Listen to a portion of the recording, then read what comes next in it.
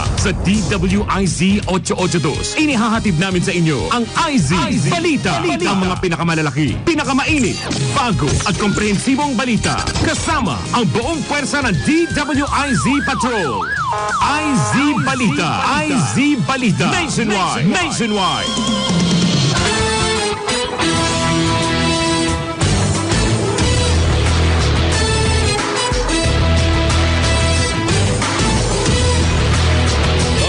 Minutos makalipas ang alas 7 ng umaga. Ito ang IC Balita Nationwide, pangumagang edisyon ngayong araw na ito ng Martes, ika-29 ng buwan ng Nobyembre 2022. IZ Balita Nationwide. Nationwide.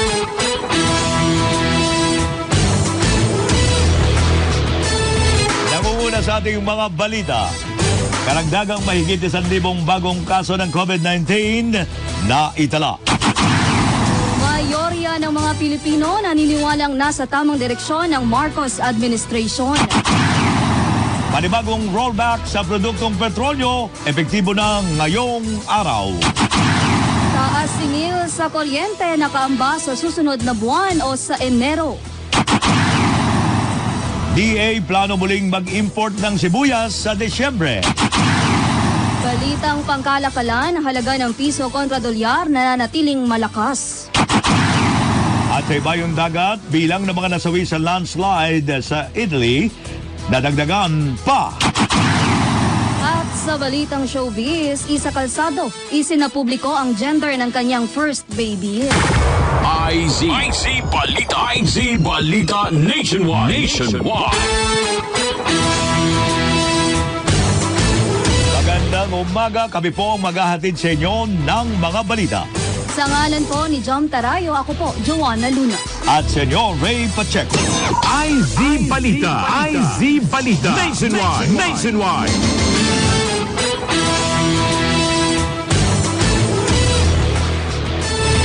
detalye ng mga balita, nakapagtala ang Pilipinas ng 1,083 na bagong kaso ng COVID-19 kahapon, kaya sumampa na sa 4,034,658 ang total case load. Batay sa inilabas na case bulletin ng Department of Health, umabot sa 8,032 ang uh, weekly confirmed COVID-19 cases mula November 21 hanggang 27. Pumalo naman sa 18,507 ang aktibong kaso ng naturang sakit sa bansa habang umakyat sa 3,951,543 ang total recoveries. Naitala naman ng DOH ang karagdagang 14 na nasawi sa COVID-19 kaya't sumirit na sa 64,608 ang death toll. Samantala, umabot na sa kabuang 73,592,319 individuals ang fully vaccinated na laban sa COVID-19. Bubuksan ang mga opisina ng Department of Education para sa bakunahang bayan ng Department of Health. Isasagawa ang pagbabakuna sa Central Office, Regional Offices, Schools Division Offices at sa mga tanggapan ng attached agency ng DepEd kung saan tatanggap ito ng mga individual na nais magpabakuna kontra COVID-19. Inatasan naman ni Vice President at Education Secretary Sara Duterte Carpio ang DepEd Central Office Manager na makipag-ugnayan sa clinic personnel para sa pagbabakuna sa mga personnel ng ahensya. Ang mga regional directors, schools division superintendents at DepEd attached agencies naman ay makikipagtulungan sa DOH para sa scheduling ng mga kawani.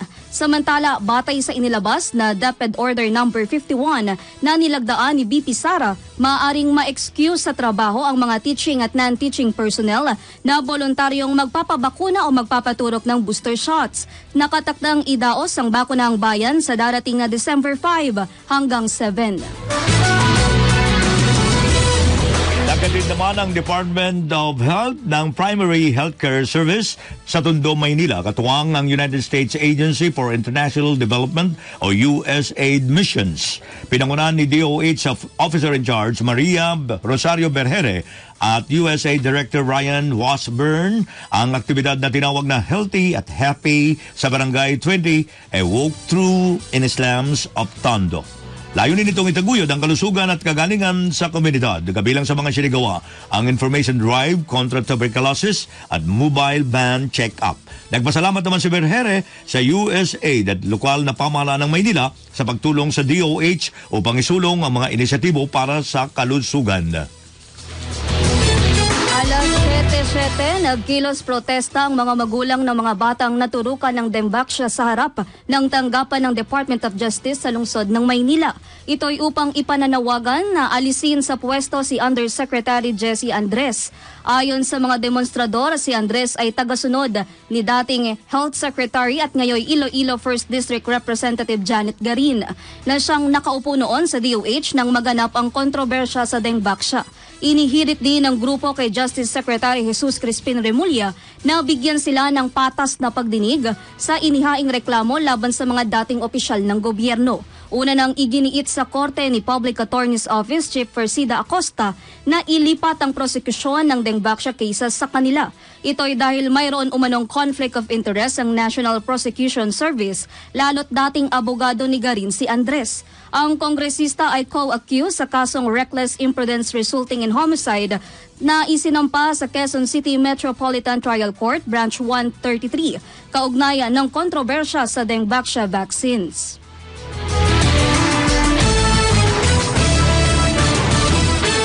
Pinalagaan ng Department of Justice ang akusasyon ni Public Attorney's Office Chief Persida Ruedac Acosta laban kay Justice Undersecretary Jesse Andres.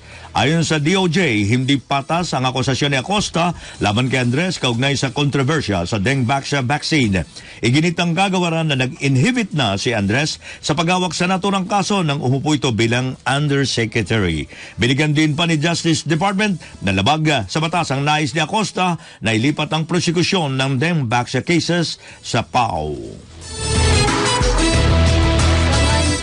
Samantala, sa iba pang detalye ng balita, mahigit 85% ng mga Pilipino ang naniniwalang nasa tamang direksyon ang patakaran at programa ng Administrasyong Marcos.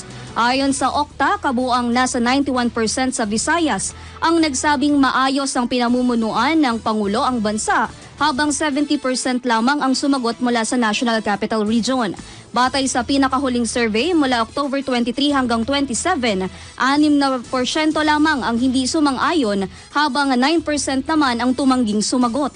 Isinagawa ang survey sa buong bansa sa Balance Luzon, Visayas at Mindanao sa 1,200 na lalaki at babae na probability respondents na may edad 18 taong gulang pataas. Kaugnay dito ang mga respondents ay mula sa Class A, B, C, D at E na kinapaya, kinapayan naman sa kanilang tahanan. Epektibo na ngayong araw ang panibagong rollback sa presyo ng produktong petrolyo. As abiso naman kumpanya ng langis, 3 pisos 75 sentimos ang bawas presyo sa kada litro ng diesel habang 2 piso at 65 sentimos sa kada litro ng kerosene at 85 centavos naman sa kada litro ng gasolina. Kanina alas 12, uno ng hating gabi ng ilarga ng Caltex at Clean Fuel ang panibagong tapyas presyo sa produktong petrolyo habang mamayang kaninang alas 6 ng umaga naman nagpatupad ng kaparehong price adjustment ang Shell, Sea Oil, Petrogas, PTT Philippines, Phoenix Petroleum, Jetty Petroleum at Uni Oil. Ang bawas presyo sa produktong petrolyo ay dahil sa pagbaba ng demand sa China bunsod na muling pagsirit ng mga kaso ng COVID-19. Patuloy na pinag-aaralan ng Manila Electric, Electric Company ang Temporary Restraining Order o TRO na inisyo ng Court of Appeal sa Power Supply Agreement sa pagitan ng Meralco at Southern Premier Power Corporation na subsidiary ng San Miguel Corporation. Ayon kay Meralco Senior Vice President for Communications at spokesman Joey Saldariaga, Umaasa silang aaksyon agad ang Department of Energy sa kanilang hirit na competitive selection process exemption sa ilang emergency o emergency power supply agreements na handa ng ipatupad. Ito'y upang maprotektahan ang mga customer laban sa posibleng mas mataas na presyo ng wholesale, wholesale electricity market.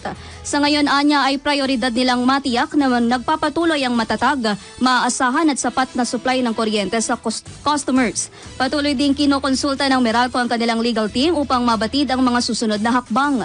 Samantala, sakali namang magkaroon ng epekto ang nasabing TRO, posibleng maramdaman ito sa December at maaring mag-reflect sa generation charge sa January. Mapapabilis naman ang internet speed sa bansa sa oras na may patupad na ang National Broadband Plan o NBP. Ito ang inasahan ni House Speaker Martin Romualdez kung saan pinaglaanan ng 1.5 billion pesos na pondo. Ayon kay Romualdez, maraming lugar sa bansa nakakaranas ng walang internet, partikular ang malalayong lugar. Naniniwala naman ang kinatawan ng isang critical social service ang internet kung saan ginagamit ito sa edukasyon, negosyo at social services.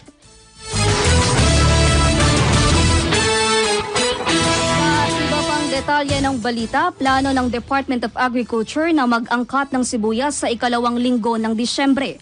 Ito ang inihayag ni DA Deputy Spokesperson Rex Esto Perez sa gitna ng patuloy na pagsipa ng presyo ng pulang sibuyas sa mga pamilihan. Ayon kay Esto Perez, hindi na makatarungang umabot sa 400 pesos ang kada kilo ng red onion. Nagtuturuan na anya ang mga retailer at dealer kung bakit napakataas at nakakaiyak na ang presyo ng sibuyas. Samantala, isinasa publiko ng DA sa mga retailer at dealer kung saan nang gagaling ang sibuyas at dapat may ebidensya sa paratang na may nagaganap na smuggling ng naturang produkto sa bansa. Pinag-aaralan ng Department of Agriculture ang supply ng sibuyas sa bansa matapos mapaunat na umabot na sa 300 piso ang presyo kada kilo sa mga pamilihan. Ayon kay DA Assistant Secretary at spokesperson Christine Evangelista, tinitingnan na nila kung gaano kalaki ang volume na anihin upang makatulong sa pagdagdag ng supply ng mga sibuyas. Batay naman sa kanilang monitoring, pumalo na sa halagang 280 pesos ang bentahan ng kada kilo ng red onions at may ilan nang nagbebenta na sa halagang 300 pesos kada kilo sa ilang pamilihan. Samantala, nakikipag-ugnayan ang kagawaran sa Bureau Plan Industry upang malaman ang sanhi ng pagtaas ng halaga ng red onions. Titiyakin din ng ahensya kung makakasapat sa demand ng mamamayan ang aanihing pulang sibuyas. Balitang yan, kailangang mag-angkat na ang Pilipinas ng libo-libong toneladang sibuyas ngayong buwan sa gitna ng kakulangan sa naturang produkto sa bansa. Inihayag ni Samahang Industriya ng Magsasaka o Sinag Chairman Rosendo So na wala ng supply ng puting sibuyas sa bansa noong nakaraang buwan. Apektado na rin anya ang pulang sibuyas sa Pilipinas at maliit na ang inventory nito sa ngayon. Ayon kay So, kailangan ng 7,000 metric tons na white onion at 7,500 metric tons naman ng red onion sa bansa, lalot na sisira na ang ibang sibuyas. Ibinabala naman ng Farmers Group na kung hindi kakayanin ng Department of Agriculture na magpasok sa bansa ng sibuyas sa December, lalong sisirit ang presyo nito kaya't ngayong November pa lamang ay dapat mag-angkat na. Campaign pa rin ito nilinaw ni Senior Deputy Majority Leader at Ilocos Norte 1st District Representative Sandro Marcos na fake news ang kumakalat na quote, uh, quote card sa social media hinggil sa mataas na presyo ng sibuyas. Ito ay matapos i-share sa social media ni Representative Teddy uh, Bakilat na at sinamahan pa ng komento. Sa isang quote card, may mukha ito ni Congressman Sandro at logo ng isang media network na nakasaad simpleng solusyon kung mahal ang presyo ng red onions, pwedeng gumamit ng white onions. Ngunit sinabi ni Marcos na wala siyang pahayag kaugnay sa presyo ng sibuyas. Samantala sinabi naman ni Bangilat na bilang nagsusulong ng laban kontra misinformation, dapat bang maging maingat at iberipika ang ibinabahaging impormasyon. Patuloy pa rin kayo sumusubaybay sa mga detalye ng ating mga pangunahing mga balita sa IZ Balita Nationwide pangumagang edisyon ngayong araw na ito ng Martes. Magbabalik kami ni Joanna Pagkalipas po lamang ng ilang mahalagang paalala. Philippine Standard Time. 16 minutos na po makalipas ang alas 7 ng umaga. IZ. IZ Balita. IZ Balita Nationwide. Nationwide.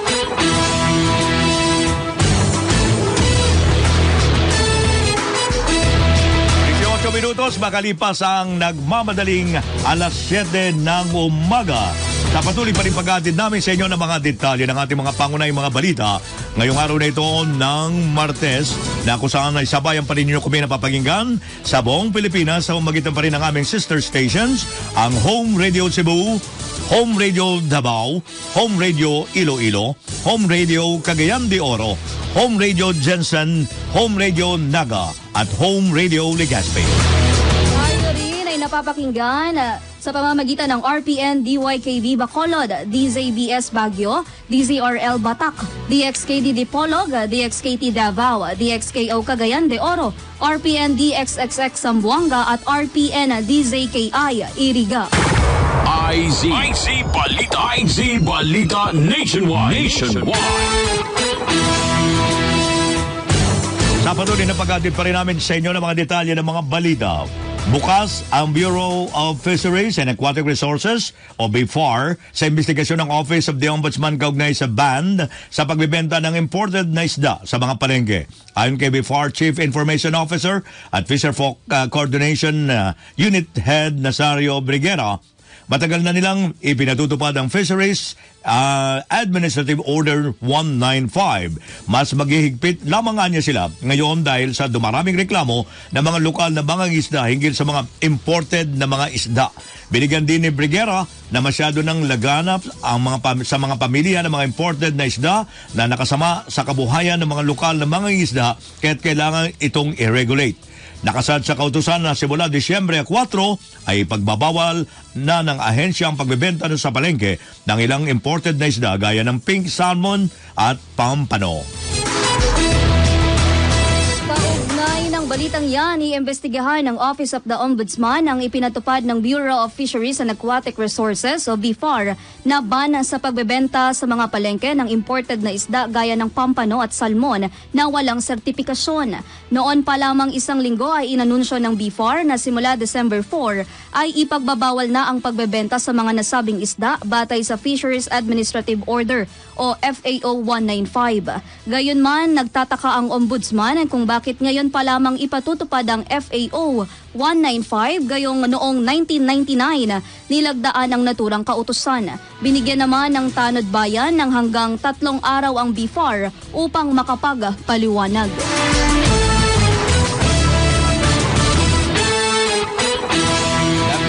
Naman ng Transport Protest Caravan ang Confederation of Truckers Association of the Philippines laban sa mga pulisiyang may kaakibat na multa at iba pang isyong nakakaapekto sa kanilang kabuhayan. Mahigit dalampung sasakyan na kinabibilangan ng ilang kotse at motorsiklo ang lumahok sa aktibidad at tapat, ah, sa tapat ng Bureau of Customs, Philippine Ports Authority at Manila City Hall. Kabilang sa pinaaksyonan ng CTAP sa PPA at port operators ang problema sa Terminal Appointment Booking System passing through fees sa ICTSI, LGU, at travel permit, shipping lines, container deposits at track band. Ayon kay CTAP President Mary Zapata, masyado ng maraming polisiya ang PPA at port operators dahilan upang madagdagan ang gastos ng truckers, brokers at importers lalo na sa penalty.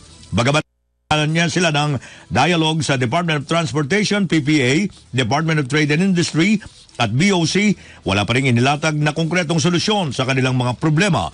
Sa kabila nito, nilinaw ni Zapata na wala silang balak maglunsad ng mas malaking holiday track protest dahil masisira ang operasyon at magdudulot ito ng mas malaking mga problema.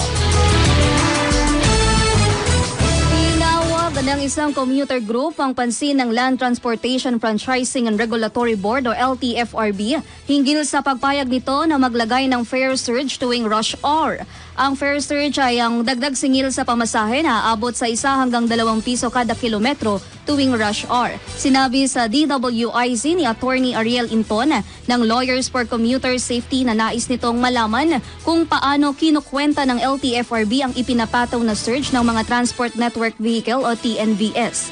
Gayunman, kailangan anyang tiyakin ng mga kinauukulang ahensya kung anong oras at anong araw dapat ito magpapatupad ng fare surge upang maging malinaw sa mga commuter. kailangan LTFRB no, pagdating sa search, Sabay, mag-hearing tayo. I-justify natin kung bakit kailangan mag-search any given day, any given time of the day. Samantalang meron ka ng uh, charge na per minute to cover your travel time and charge ka na rin ng per kilometer to cover the length of travel. Ayan po ang tinig ni Attorney Ariel Into ng Lawyers for Commuter Safety sa panayam ng DWIZ. 23 minutos na makalipas ang alas 7 ng umaga. May report tayong tatanggapin mula sa labas ng studio. Test flight ng Philippine Airlines sa Baguio, Luwakan Airport, Matagumpay.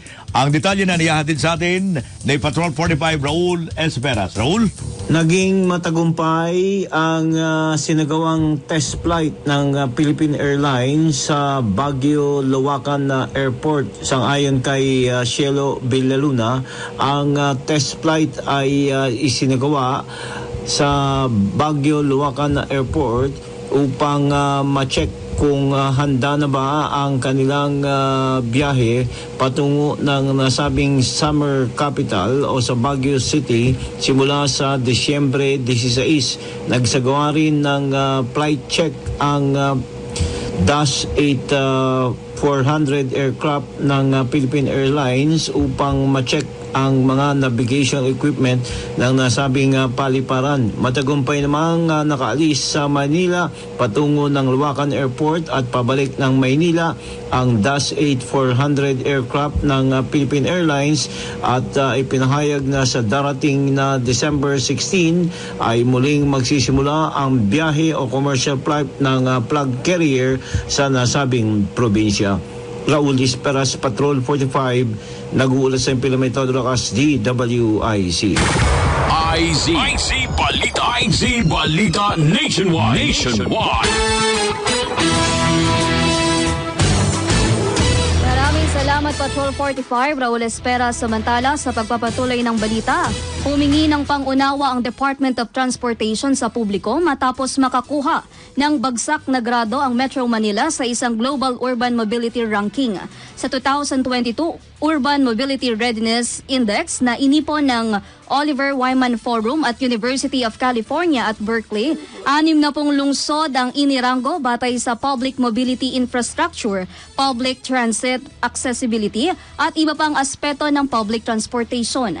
Gayunman sumadsad sa ikalimamputwalong pwesto ang Metro Manila kasunod ng mga lungsod ng Nairobi, Kenya at Lagos, Nigeria. Ayon kay Transportation Secretary Jaime Bautista, tanggap naman nila ang lumabas na ulat kaya't patuloy na nagpupursige ang gobyerno na pagandahin ang mobility at public transportation sa National Capital Region.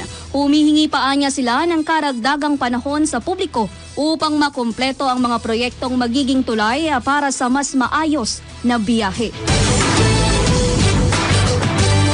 Sa iba pa nating mga balita, pinakuna naman ni DSWD Secretary Erwin Tulfo ang distribusyon ng cash assistance sa mga indigenous people o IPs sa Zamboanga City kahapon. Nakatanggap ng tig 10,000 piso na ang abot sa nimandang eligible IPs mula sa Sama Bajau Community na magagamit ng mga ito bilang panghanap buhay.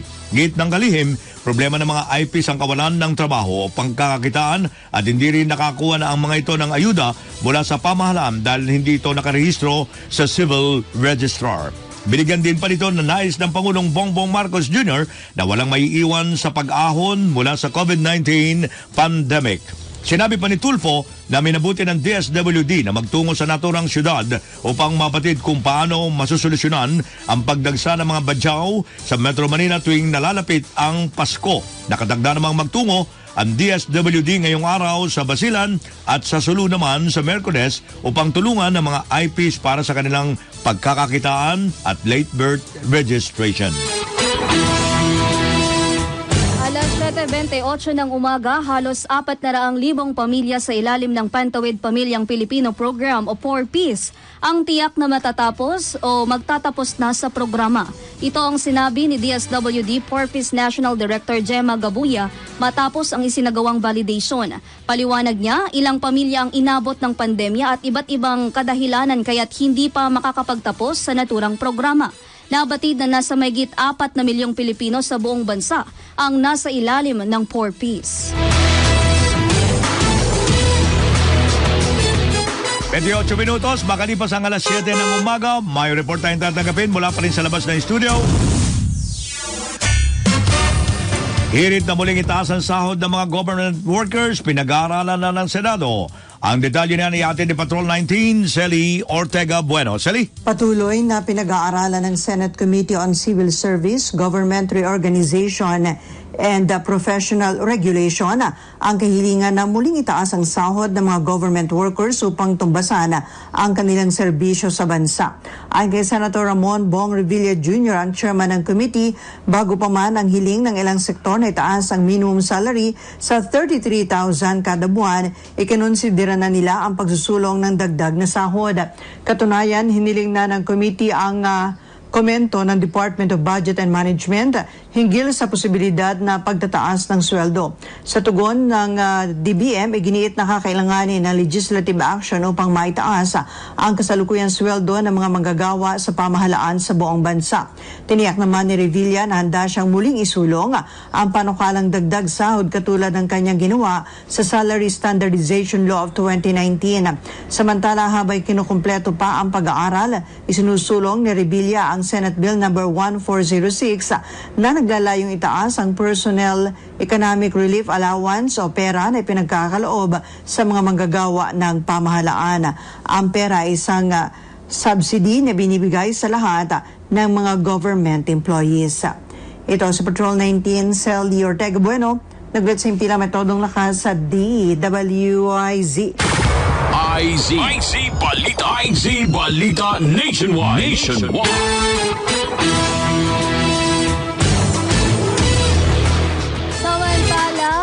Susuriin ng Department of Budget and Management ang sahod ng mga state workers sa susunod na taon. Ito ay para matukoy ang makatwirang halaga ng adjustment na ibibigay ng pamahalaan. Ayon kay DBM Organization Position Classification and Compensation Bureau Director Gerald Handa, ilang grupo na ang umaapela para sa minimum wage na 33,000 pesos para sa mga government employees sa gitna ng patuloy na pagtaas ng presyo ng mga consumer goods at serbisyo. Sa kasalukuyan, ang mga minimum wage earners ay kumikita lamang ng 12,517 pesos kada buwan. Mababatid na naunang sinabi ng DBM na ang pagtataas ng buwan ng sahod para sa mga empleyado ng gobyerno ay mangangailangan ng pagpapasa ng panibagong batas.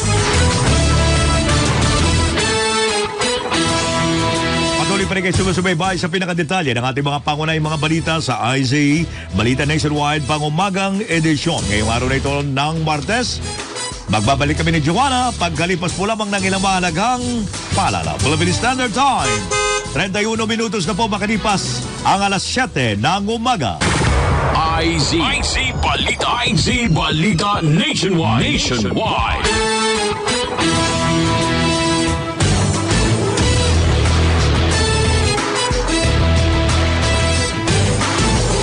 35 minutos na po makalipas ang alas 7 ng umaga. Sa patuloy pa rin pag namin sa inyo ng ating mga balita, mayorya ng mga kabataang Pilipino, lalo na ang mga nasa working age na 21 hanggang 30, ang mas nais maghanap buhay sa bansa sa halip na makipagsapalaran sa ibayong dagat. Patay sa 2021 National Youth Survey, 33% na 4,900 respondents ang naniniwalang sapat ang mga oportunidad sa kanilang mga lugar, mapanunsod o maprobinsya. 23% naman ang naniniwalang hindi sapat ang mga oportunidad at kinukonsiderang maghanap ng trabaho sa ibang panig ng Pilipinas at 20% ang naniniwalang mas maganda ang mga oportunidad sa ibang bansa pero ayaw umalis ng Pilipinas. 9% ang nagsasabing walang sapat na oportunidad sa kanilang mga lunsod o lalawigan kaya't napipilitang maghanap ng trabaho sa ibang panig ng bansa. 8% ang mas piniling magtrabaho at manirahan sa ibang bansa at 7% ang nagsabing hindi nila alam kung saan maghahanap ng mga otrabats. Samantala, 76% ng mga respondent ang kumpiyansang magiging maayos ang kalidad ng kanilang pamumuhay sa susunod na limang taon. Samantala, pagtu- dapat pagtuunan ng pansin ng pamahalaan ang paglikha ng mga trabaho sa halip na itaas ang sahod para maiahon ng mga Pilipino sa kahirapan. Ito ang iginiit ni Employers Confederation of the Philippines o ECOP President Sergio Ortiz Lu- Luis matapos sabihin ni Association of Democratic Labor Organizations o ADLO President Dudes Hero Diaz na sinusuportahan nila ang pagtataas ng national minimum wage. Gayunpaman sinabi ni Ortiz Luis na ang pagtataas ng sahod ng mga empleyado ay maaring makapag-engganyo sa mga micro, small and medium enterprises o MSMEs na taasan ang presyo ng mga produkto at serbisyo na kanilang inaalok. Magpapakalat naman ang Philippine National Police o PNP ng 6,000 tourist-oriented personnel sa mga lugar na inasaan dadagsain ng publiko habang papalapit ang holiday season. Ayon kay PNP spokesperson uh, Colonel Jean Pajardo, ito ay upang matiyak ang kaligtasan ng publiko habang ini-enjoy ang kanilang bakasyon. Idedeployan niya ang mga pulis, partikular sa mga shopping malls, palengke at bazaars. Maliban dito, maglalagay din ng assistance desk sa mga transport hubs at mga pangunahing lansangan. Samantala pinag-iingat naman ng PNP ang publiko kaugnay sa paglipana ng mga peking pera. Sa oras na 7.37 ng umaga, muli tayong tumanggap ng pag-uulat mula sa labas ng himpilan. Paano kalang magbibigay proteksyon sa karapatan ng mga babaeng manggagawa lusot na sa Kamara ulat ihahati ni Patrol 17 Jopel Pelenyo. Niratipika na ng House of Representatives sa third and final reading ang panukalang magpapalakas sa anti-discrimination provisions sa ilalim ng Labor Code of the Philippines na nilikha upang maprotektahan ang women employees ng bansa. Sa botong 248, inaprobahan ng Kamara ang House Bill number 4479 upang amyandahan ang Article 135 ng Presidential Decree number 442 sa ilalim ng panukala ituturing na isang paglabag sa batas ang anumang aksyon ng mga employer na nagpapakita ng diskriminasyon sa kanilang mga empleyadong babae. Nakasaad din dito na kikilalanin rin na acts of discrimination ang pagbibigay ng mas mababang sweldo o benepisyo sa mga female employee kumpara sa mga male employee at pagpabor sa mga lalaking empleyado kaysa sa mga babaeng empleyado pagdating sa assignment, promotion, employment benefits, training opportunities, study, at scholarship grants. Kabilang din sa mga maituturing na diskriminasyon sa mga babae ang pagsibak sa mas maraming female employee sa oras na magpatupad ng retrenchment o dismissal of personnel ang isang kumpanya. Iniakda ang House Bill number 4479 ni House Speaker Martin Romualdez at ng ilang mambabatas na may hangaring masiguro na maipatutupad ang pantay na karapatan ng mga babae at lalaking manggagawa mula sa mga pribadong kumpanya at mga pampublikong ahensya o tanggapan ng gobyerno. Ito si Patrol 17 Chopel Pileño nag-uulat para sa himpilang may tanong lakas DWIZ. IZ. IZ Balita. IZ Balita Nationwide. Nationwide. Maraming salamat, Jopel. 40 minutos makalipas sa kalas 7 ng umaga. Naglaan naman ang Makati City Government na mahigit uh, 158.6 million pesos para sa year-end cash incentives ng 83,857 senior citizens sa lungsod. Ayon kay Makati City Mayor Abi Binay, magang matatanggap ng blue card holders ang kanilang year-end uh, cash grants upang makaiwas na rin ang mga ito sa holiday rush. Makukuha ng mga senior citizens ang kanilang cash incentive sa pamagitan ng GCash kung saan nakadepende sa age bracket ang kanilang matatanggap na halaga. Ang mga may edad na 6 na po hanggang 6 na po siyam na taong gulang ay makakuha ng 1,500, 2,000 para sa mga 70 hanggang 70 siyam na taong gulang, 2,500 naman para sa 80 hanggang 80 siyam na taong gulang at 5,000 naman para sa mga edad siyam na po hanggang siyam na po siyam gulang. Sa ilalim ng Expanded Benefits Program para sa mga senior citizens, ang Blue Card holders ay nakakuha ng cash gifts tuwing Hulyo at Desyembre. Nagpaalala ang Philippine National Police o PNP sa publiko na mag-ingat ngayong nalalapit na ang Kapaskuhan dahil sa maluwag na COVID-19 restrictions na posibleng samantalahin ng mga kriminal. Ayon kay PNP Officer in Charge Lieutenant General Rodel Sermonia, na inaasahan nila ang mas maraming selebrasyon at mga taong aalis sa holiday season, lalo na sa mas maluwag na protocols kumpara noong 2020 at 2021. Ito anya ang dahilan kung bakit mahigpit nilang sinusunod ang utos ni Pangulong Ferdinand Marcos Jr. at PNP Chief General Rodolfo Azurin na maglatag ng mga pamamaraan upang sugpuin ang kriminalidad. Ilang kalsada sa Caloocan City ang isinira simula kaninang alas 12 ng hating gabi bilang paghahanda sa pagdiriwang ng Bonifacio Day sa November 30. Bukas po yan. At batay sa abiso ng Caloocan City, LGU, sarado po ang EDSA mula Bonifacio Monument, Circle o BMC hanggang Serrano at mula General Simon hanggang BMC. Maging ang Samson Road mula BMC hanggang Villarosa Street at mula sa New Abbey Road hanggang BMC. Gayun din ang parehong lane ng Rizal Avenue mula BMC hanggang 10th Avenue at parehong lane na MacArthur Highway mula BMC hanggang Calle 4. Naglatag naman ng lokal na pamalaan ng mga alternatibong ruta para sa mga motorista kung saan ang mga patungong EDSA ay maaaring dumaan sa Bisirano o biglang awa. Kung galing naman sa EDSA patungong Valenzuela, Malabon at Navota cities, gamitin ng General Simon at kumaliwa sa Calle 4. At kung magmumula naman sa Valenzuela patungong Caloocan, gamitin ng Pascual Avenue, kumaliwa sa Araneta Avenue at kumanan sa Caimito Road.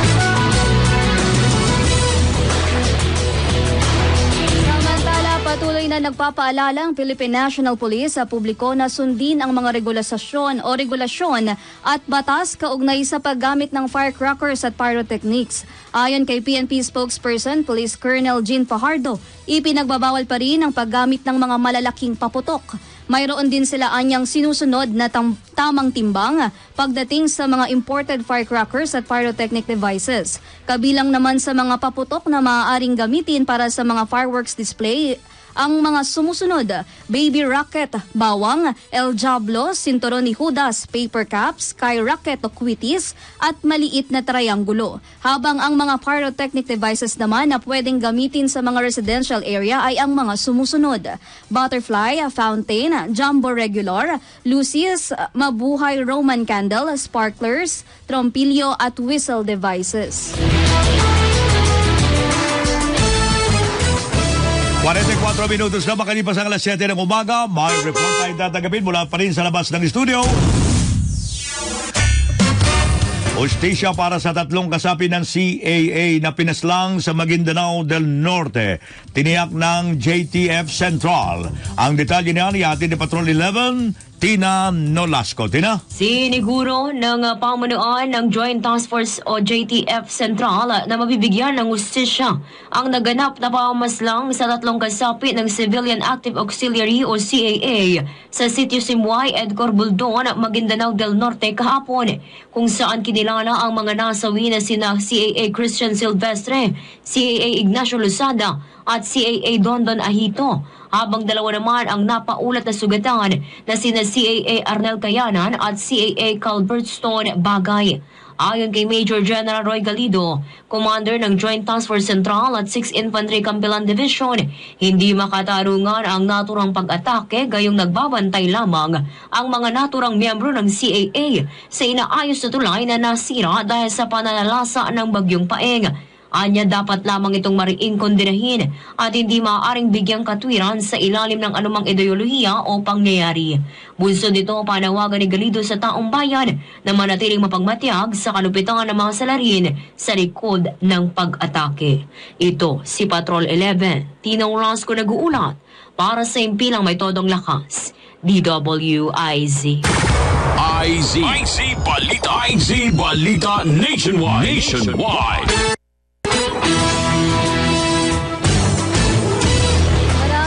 Salamat Patrol 11, Tina Nolasco. Samantala, may ulat ang ihahatid si Patrol 13, Gilbert Perdue. Patrol 13, Gilbert. Nakatagdang magtungo si Pangulong Ferdinand Marcos Jr. sa Los Baños, Laguna ngayong araw ayon sa Office of the Press Secretary o PS. Sasadyain ng Pangulong Marcos ang punong tanggapan ng IRRI o yung International Rice Research Institute kung saan ay nasa magsasagawa ng tour ang presidente. Sinasabing titingnan din ng Pangulong Marcos ang mga display ng imbensyon na may kinalaman sa pagpaparami, pagpapaganda ng kalidad ng bigas at iba pa. Posibleng maging bahagi rin ng aktibidad ang pakipagpulong ng Pangulo sa Director General ng IRRI na si Jean Belli. Magkakaroon naman ng ah, meeting ang Board of Trustees ng ahensya na pangungunahan pa rin ni Pangulong Marcos. Patrol 13, Gilbert Perez ng Gulat para sa impilang may todong lakas. DWIZ. IZ. IZ Balita. IZ Balita Nationwide. Nationwide.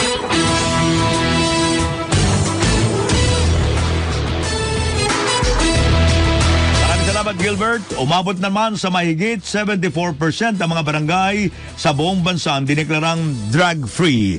Ayon kay Philippine National Police o PNP spokesperson Police Colonel Jean Pajardo, nasa 403 na barangay na ang drug-free matapos ang sinigawang anti-illegal drug operations ng mga otoridad. Nabatid na inilunsad ng gobyerno ang advokasyang tinawag na Buhay ay Ingatan, Drogay Ayawan o BIDA program na layuning, eh, layuning paigtingin ang kampanya laban sa naturang usapin. Inaasahan naman ni Fajardo na, na maraming barangay ang makikisa sa implementasyon ng nasabing proyekto. Nagbabala ang Philippine National Police o PNP Anti-Cybercrime Group o ACG sa publiko hinggil sa naglipa ng cryptocurrency scam sa social media na nanloloko ng mga investor.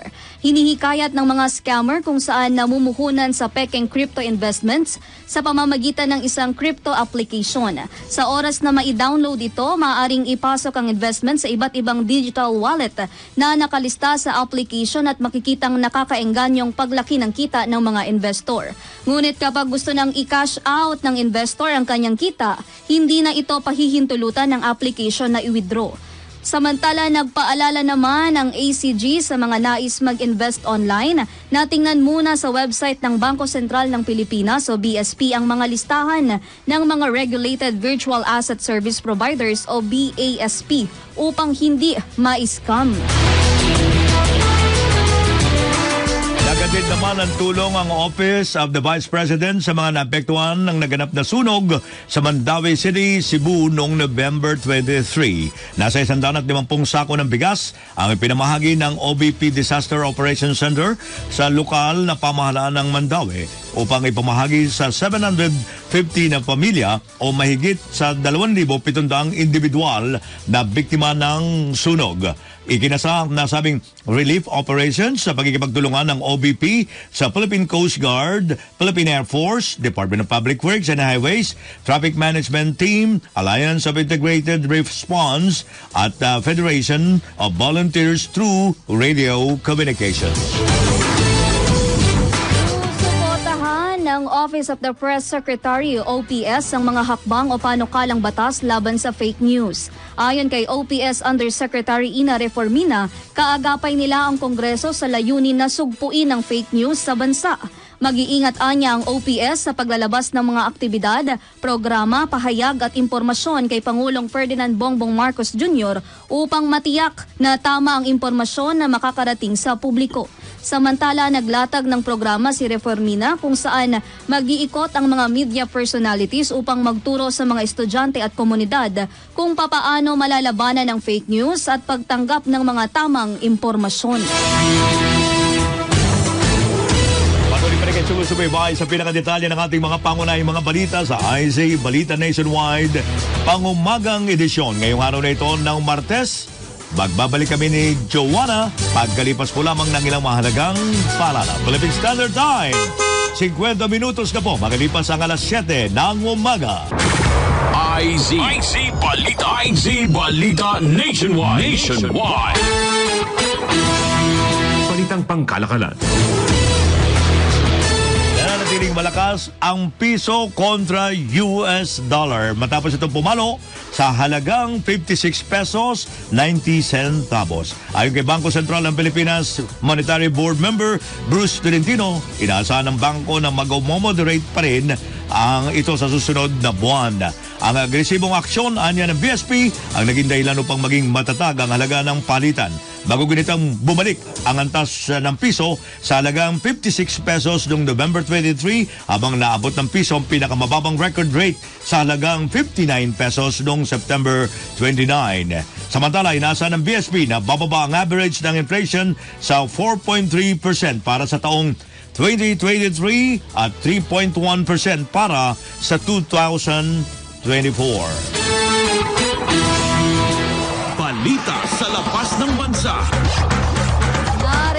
ng mga otoridad ang ikawalong biktima ng landslide sa Ischia, Italy. Batay sa datos, ang pinakahuling bangkay na nakuha ay isang labing limang anyos na lalaki, kabilang ang kanyang nakakabatang kapatid na lalaki at babae habang apat na katao pa rin ang nawawala. Nakuha na rin sa naturang isla ang 21-day-old na sanggol. Mababatid na nagresulta ito ng matinding sama ng panahon o malakas na pag-ulan. Dahil na rin sa deforestation at overdevelopment at kakulangan ng mga diskarte ng otoridad. Entertainment o trending news. Heto na nga. Ano? Isiniwalat ni Isa Calzado at ng kanyang asawa na si Ben Wintel na babae ang kanilang first baby. So, Ito ay matapos inanunsyo ng aktres sa kanyang Instagram account. Nag-upload siya ng isang throwback na larawan ng kanyang na ng kanya at inaalala ang ilan sa kanilang magagandang alaala. Sinabi ni Isa sa kanyang post na marami siyang alaala sa kanyang pagkabata. Sinisiguro din niyang magiging maayos siya. Hinihiling naman ng aktres sa kanyang ina na patuloy ng paggabay at suporta habang naghahanda siya bilang ina. Magugunit ang una na niyang inanunsyo ang kanyang pagbubuntis sa, ika, sa kanyang ika 40 years old na karawan noong Agosto 12. Updates at inside stories sa iba't ibang sports. Ito ang Real Sport. Real Sports ni Anthony Suntay.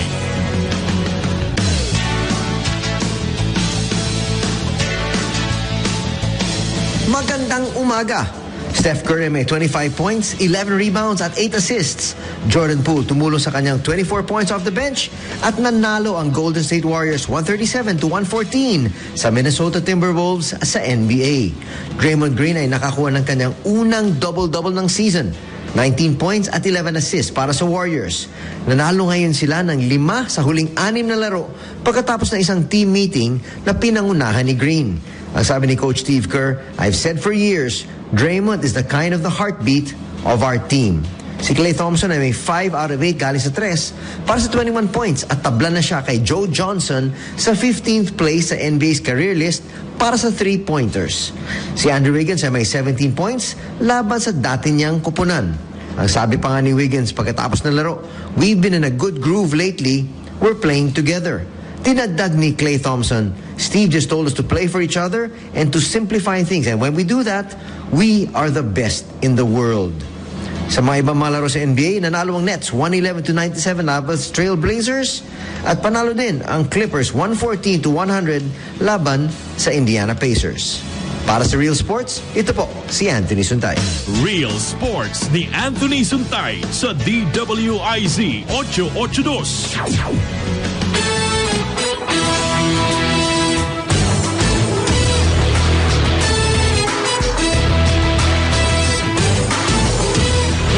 Pang edisyon ng IZ Balita Nationwide. Dito pa rin sa IZ Radio at IZ TV. May todong lakas. Balitang sigurado Tapat na serbisyo. sa komentaryo numero uno. Kami po naman ang naging tagapagbalita ninyo. Ako po, Joanna Luna. At Senyor Ray Pacheco, marami pong salamat at magandang umaga. Susunod na! Siyempre, ang inyong hinihintay, ang hinihintay ng lahat, inyo hinihintay ng sino man, hinihintay ng buong mundo, ang Karambola!